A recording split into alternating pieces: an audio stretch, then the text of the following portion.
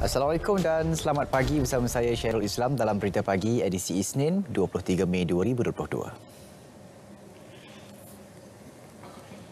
Saudara, kebimbangan Malaysia dan Jepun berhubung isu serantau dan antarabangsa terutama konflik Rusia-Ukraine pernah dibincang bersama Perdana Menteri Datuk Seri Ismail Sabri Yaakob dan rakan sejawatnya Fumio Kishida menerusi panggilan telefon April lalu. Perbincangan tersebut dijangka dapat diperincikan kali ini di Tokyo sempena lawatan kerja rasmi sulung Perdana Menteri ke negara matahari terbit itu bermula hari ini.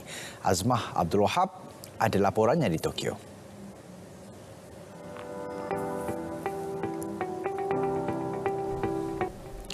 Keakraban hubungan Malaysia-Jepun sejak negara mencapai kemerdekaan tidak lagi boleh disangkal. Lebih enam dekad usianya, istimewa kunjungan Perdana Menteri kali ini bakal membuka lebih banyak peluang kerjasama di antara Kuala Lumpur dan Tokyo selanjutnya. Jadual padat menanti Datuk Seri Ismail Sabri selama enam hari lawatan bermula dengan ketibaannya di Tokyo esok. Sudah pasti agenda utama Perdana Menteri untuk bertemu rakan sejawatannya Fumio Kishida selain rakan-rakan sejawatan lain yang turut serta dalam persidangan Nikkei kali ini. Berdasarkan laman web penganjur antara pemimpin yang dijangka hadir termasuk Perdana Menteri Singapura, Thailand, Kemboja, Laos, Vietnam, Bangladesh serta bekas-bekas pemimpin dunia.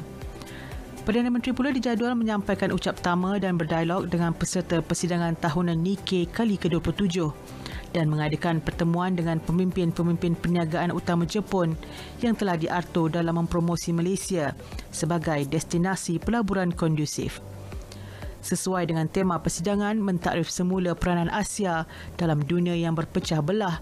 Perdana Menteri sudah pasti membawa nada sama yang disuarakan ketika di Washington baru-baru ini bahawa Malaysia akan menekankan kepaksian ASEAN dalam hubungan dengan kuasa-kuasa besar seperti Amerika Syarikat. Ia juga suara Malaysia mewakili rantau ASEAN mempertahankan pendirian serantau agar boleh membangun bersama dalam memajukan rantau ini seperti rantau-rantau lain. Di luar persidangan Nikkei, Perdana Menteri turut dijadual menghadiri sesi temu ramah bersama media tempatan Jepun. Membuktikan sokongan dan keakraban kedua-dua negara, Perdana Menteri dijangka akan dianugerahkan ijazah kehormat Doktor Falsafah daripada Universiti Nihon. Penganugerahan ijazah akan disempurnakan dalam satu majlis yang dijadual berlangsung di Bandar Itabashi istimewanya lawatan rasmi Perdana Menteri ke Jepun kali ini akan menterjemahkan hubungan diplomatik Tokyo dan Kuala Lumpur yang telah berlangsung sejak 65 tahun yang lalu. Ia bukan suatu hubungan baru. Kuala Lumpur dan Tokyo telah mendapat banyak manfaat sejak itu. Seperti juga Malaysia dan negara-negara lain, Jepun turut berhadapan cabaran untuk memakmurkan semula ekonominya pasca COVID-19.